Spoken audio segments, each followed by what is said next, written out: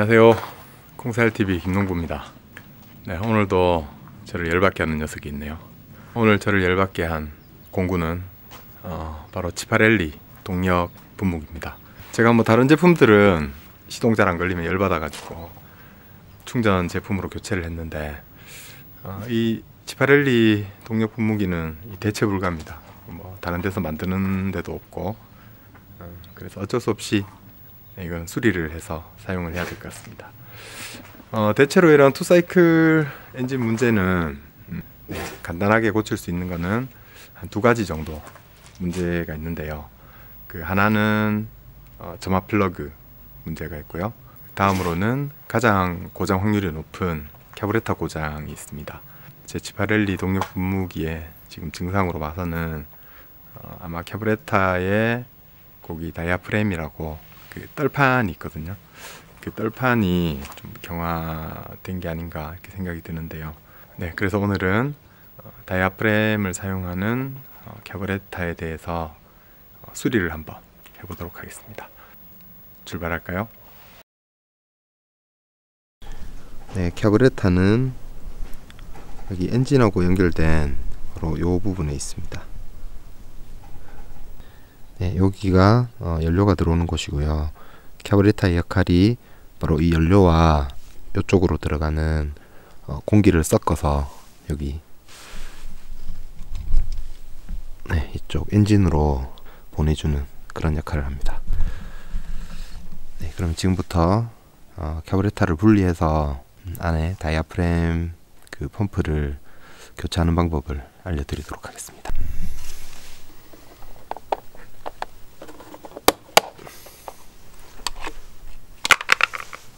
필터를 통해서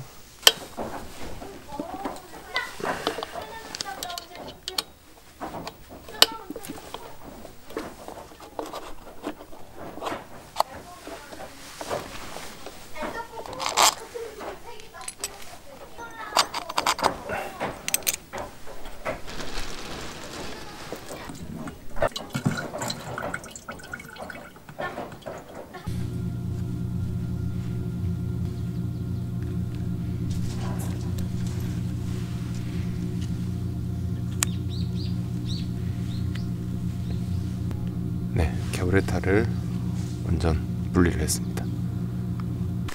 네, 요게 어, 새로 구입한 어, 다이아프램 펌프 수리 키트거든요. 어, 요게 이제 캐브레타 그 품번별로 자주 갈아야 되는 그 세트들이 나오는데 네, 요 캐브레타를 분해를 해서 그 안에 어떤 부품들이 들어가는지 한번 확인을 해보도록 하겠습니다.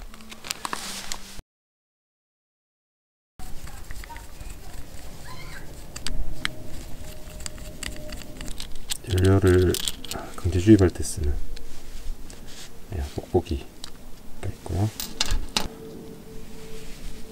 뽁뽁이 들어가는 이게 하단에 다이프레임입니다.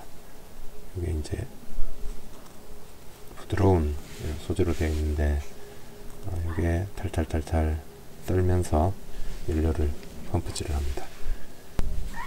가스켓 패킹이고요. 스프링으로 밸브가 있습니다. 그래서 이게 떨리면서 안에 연료가 위로 올라가도록 그렇게 해주는 이쪽으로 연료가 주입이 되고요.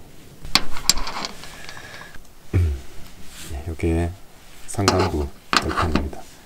이것도 이제 부드러운 재질의 천 같은 걸로 되어 있습니다. 이것도 떨리면서 연료를 펌프질하는 그런 역할을 하고요. 똑같이 가스켓입니다. 패킹.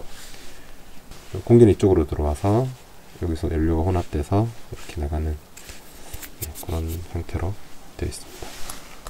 공기 구멍 조절은 이렇게 케이블을 통해서 엑셀을 당기면 이렇게 더 연료도 많이 들어가고 공기도 많이 들어가고 엑셀을 넣으면 공기도 닫히고 연료도 닫히는 이런 구조로 되어 있습니다. 그래서 이제 우리가 흔히 교체하는 거는 음 여기 하단부에 딸판 이게 이제 경화가 되면 떨림이 좀 약해져서 연료가 잘 안 올라가거든요. 그리고 요 상단부의 떨판 이두 가지를 어, 주로 교체를 하면 되고요. 어, 가끔 이제 여기 스프링 안에 밸브가 있는데 어, 요 밸브 쪽에 어떤 그 이물질이라든가 어, 이런 게 끼어 있을 수가 있기 때문에 간혹 어, 요 부분도 한 번씩 어, 교체를 해주시면 될 것 같습니다. 어, 매번 교체할 필요는 없고요. 어, 매번 교체할 때는 이두 가지를 중심으로 교체를 해주시면 됩니다.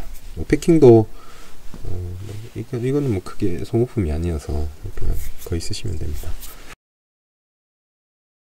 네, 이렇게 어, 오른쪽에 있는 게 어, 새로 어, 수리 키트에서 필요한 부분만 꺼낸 거고요.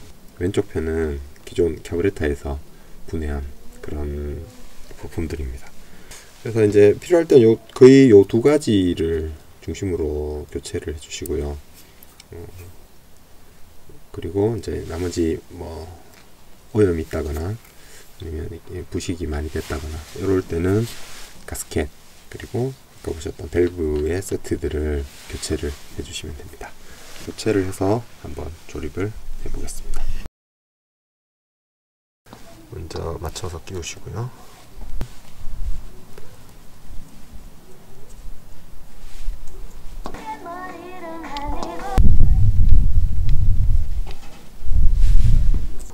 네, 다음으로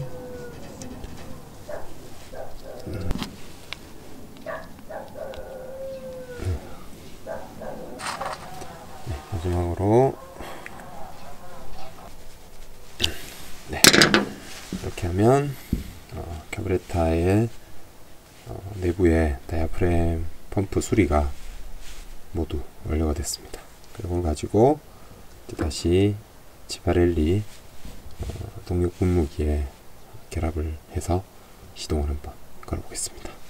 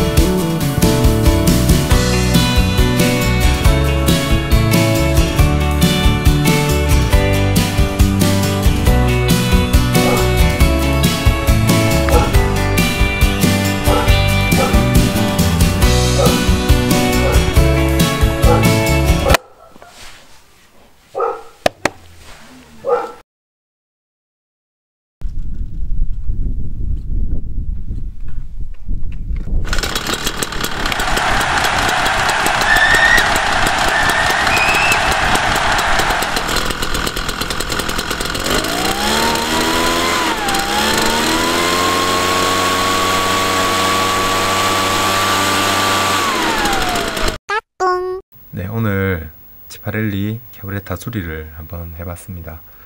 네, 이게 사실 알고 나면 어, 별거 아닌 일이거든요. 근데 이제 잘 모르시면 또 이 캐브레타 전체를 교체를 하시거나 어, 비싼 비용을 지불을 하고 어, 캐브레타 수리를 하셔야 되는데 네, 구조나 원리를 아시면 간단하게 네, 저렴한 가격으로 교체를 하실 수가 있습니다. 앞에 말씀드린 그 대표적인 두 가지 어, 캬브레타 방식의 어, 두 가지 캬브레타를 제가 가져와 봤는데요. 이게 이제 지파렐리에 들어가는 똑같은 캬브레타입니다. 이게 이제 다이아프램 방식의 캬브레타고요. 요거는 이제 많이 보셨을 텐데 어, 예초기 같은데 많이 들어가는 어, 플로팅 방식의 캬브레타입니다. 요거는 이제 안에 뭐 떨판이나 이런 복잡한 구조는 없고요.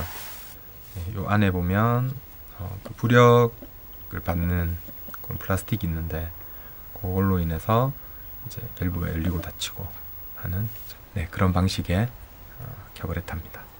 네, 오늘 영상이 도움이 되셨다면 좋아요, 구독 꼭 눌러주시고요. 네, 다음에는 요 위에 보이는 점화 플러그 교체라든지 아니면 그 아까 보셨던 플로팅 타입의 캬브레타를 수리하는 그런 방법에 대해서 또 한번 알아보도록 하겠습니다. 네, 그럼 다음 영상에서 다시 뵙겠습니다. 안녕.